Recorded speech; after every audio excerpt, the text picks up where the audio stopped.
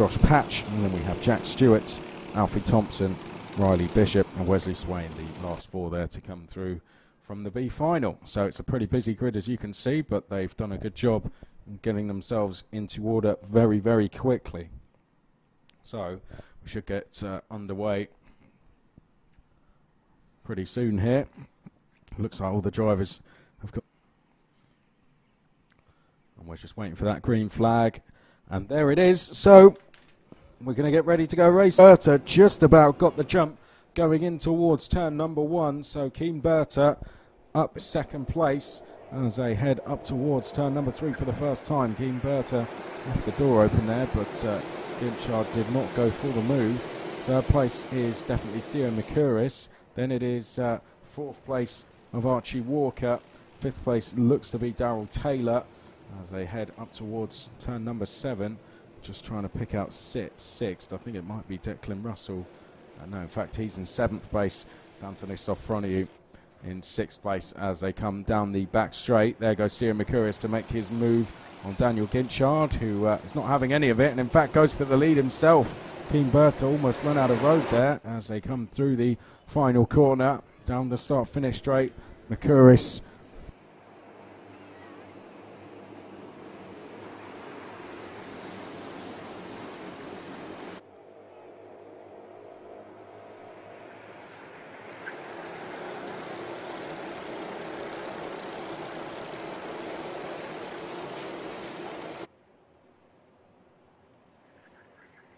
Theo Mercuris, sorry there, just had to get a few messages come in from uh, race control, and uh, Theo Mercuris, it is leading the way. So uh, just a couple of messages being delivered. So apologies for the brief pause there. It's Mercuris who leads from uh, from Ginchard.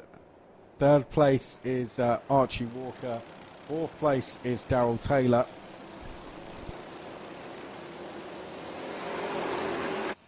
As they come out of the last corner. Then fifth place we have Anthony Sofroniou. Here comes Keen Berta there in the all blue, trying to go into uh, fifth place.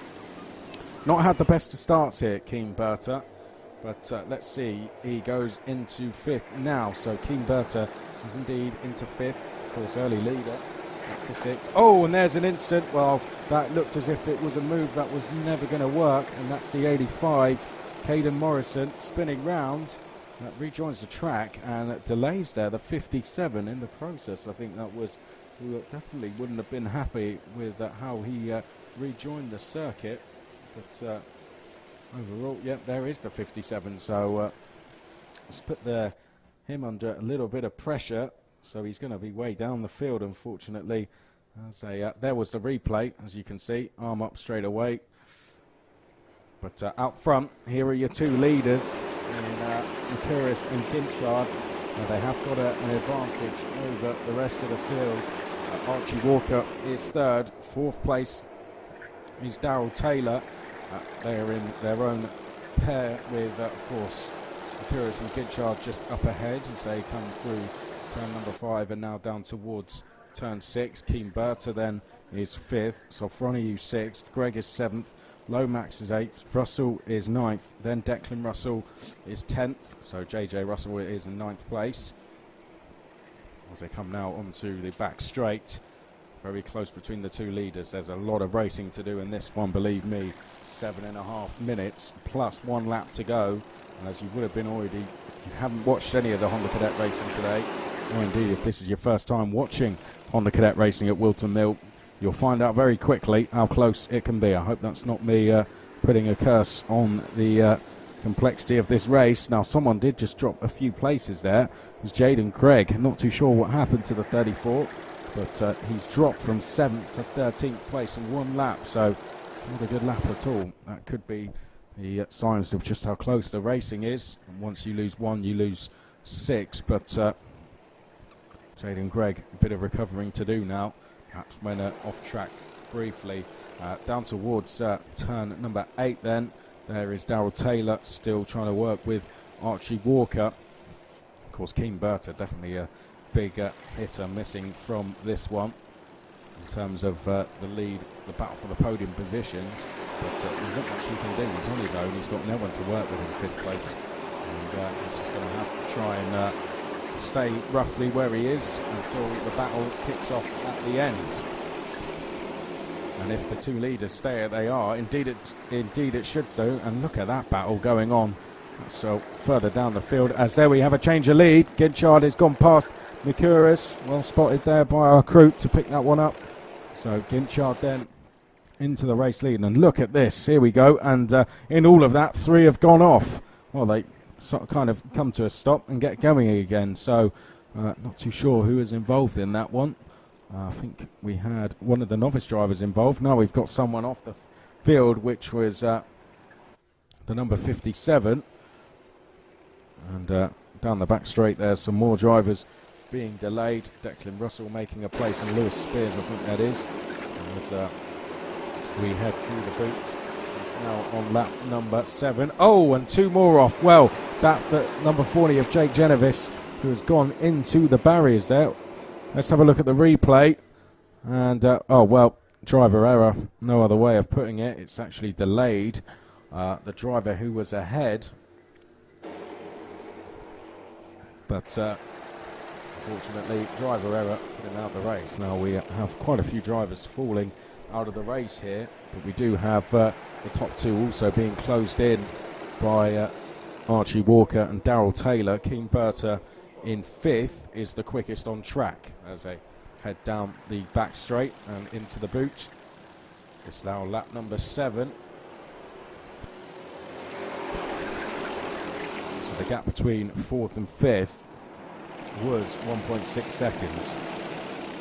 It's still 1.6 seconds at the moment, uh, but between second and third, it is seven tenths, which is not a lot. And as you can see, Ginchard knows that. He's just looking over his shoulder.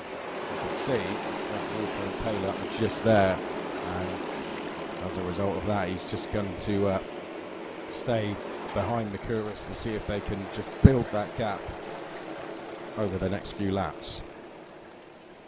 But you could think the complete opposite way, and he could go past like he is now, and let Mercurius deal with uh, Walker and Taylor when they arrive. So uh, Yep, not a bad idea that from Ginchard to go straight into the lead, realising what's happening behind because uh, not only has he got him into the lead, but it's pushed Mercurius back into the clutches of Archie Walker and Daryl Taylor as they come across the line through turn one and now through turn number two they go.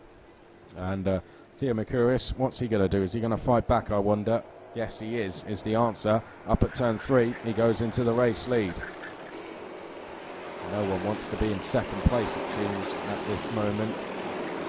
As they come down towards turn six. There we go. Once again, another change of lead. And this time, two positions lost for the leader. So Mercurius has gone down to third. Archie Walker has gone up to second place here. And Daryl Taylor still in fourth as they now head down the back straight. Ginchard uh, is uh, just seeing now he's got a kart between himself and uh, make that two as well as they head now uh, across the start finish line and uh, in towards turn number two. And now Archie Walker, could he be the driver to go on and win this one? I wonder as they come up to turn three. We're getting well towards the end of the race now. Two and a half minutes plus that extra lap. Mercurius is getting a little bit impatient there in the seventh. Goes through the third down at turn six. But uh, up ahead, Walker is getting ready to line up a move. Now, Keen Berta was once 1.6 behind these guys. He's now 1.1 with all the small changes that have been going on.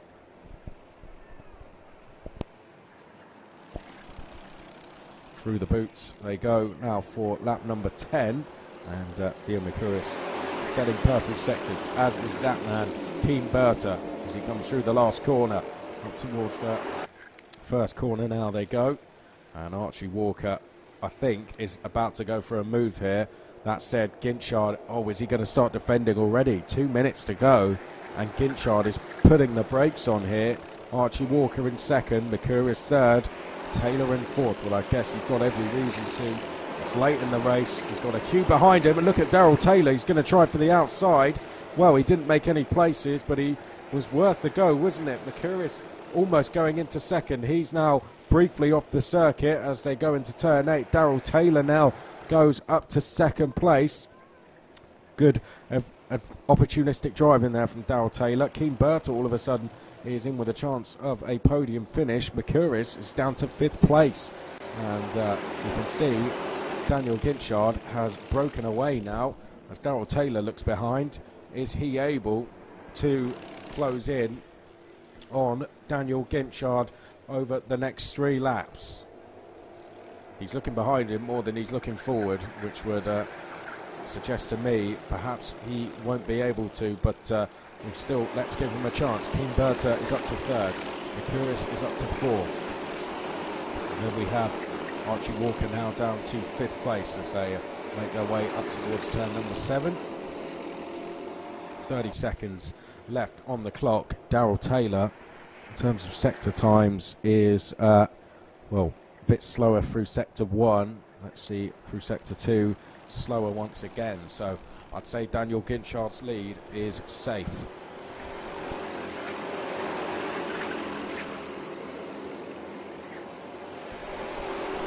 12 laps now completed, and Ginchard has just under a second. It's uh, someone of his quality should be able to hold on to this now. Uh, who's going to take second place though? Who's going to join him on the podium? What order will they be in? Daryl Taylor at the moment will be second place, but uh, he's going to have a lot of defending on his hands to do as he comes down towards turn number six. Keen Berta is there, Mercouris is there, Archie Walker is there. I don't think we'll see anyone else join this queue. Uh, Steven Mercouris now tries for third up at turn seven, uh, but in trying to do that, he's going to lose a place. There goes Archie Walker into third place. Well, Archie Walker up into third as they now make their way down towards uh, the boot. Has Archie Walker got something caught on his right rear tyre there? But uh, is it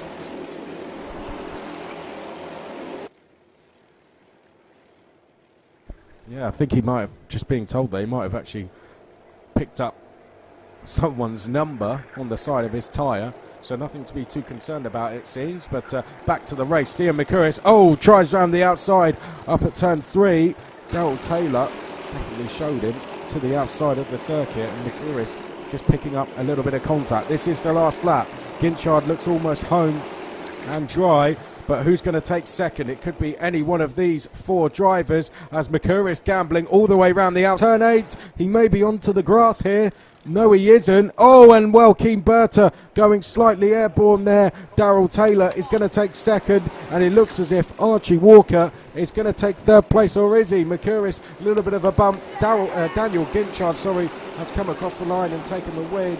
Daryl Taylor takes second, and third is Archie Walker. Theo Mercouris finishes in fourth place.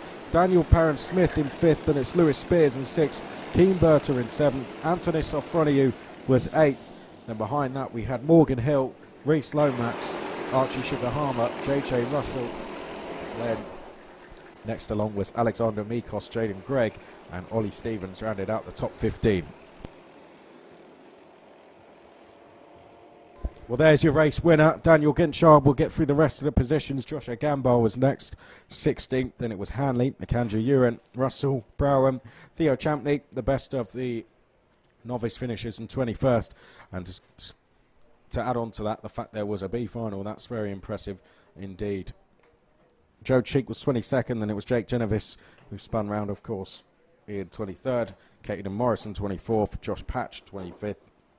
Then we had Oliver Stilp, Alfie Thompson, Marco Horsley, Riley Bishop, Jack Stewart, Yihad Calishan, Wesley Swain, Blake Ticehurst, and unfortunately the non-finisher of Leo Brown.